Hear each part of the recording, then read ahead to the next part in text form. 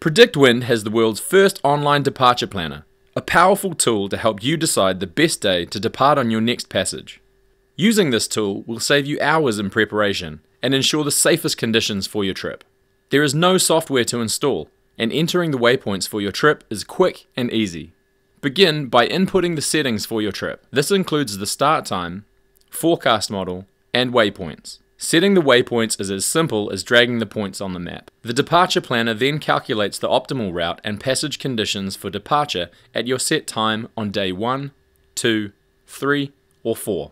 The table summarizes the weather conditions you will receive for each departure day. You can see on this route that day 1 has wind speeds in excess of 40 knots with high percentage time of upwind and large swells, while departure on day 3 has a max wind speed of only 22 knots with minimal upwind conditions and acceptable swell conditions and therefore likely to be a better day to depart. By changing the forecast model from PWG PWC to GFS CMC, you can get a comparison of four top weather models giving you peace of mind and confidence in your departure day. The PredictWind departure planning is available for standard and professional accounts.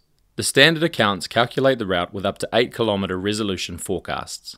Professional accounts have access to the 1 km resolution forecasts and incorporate ocean currents when calculating the optimal route.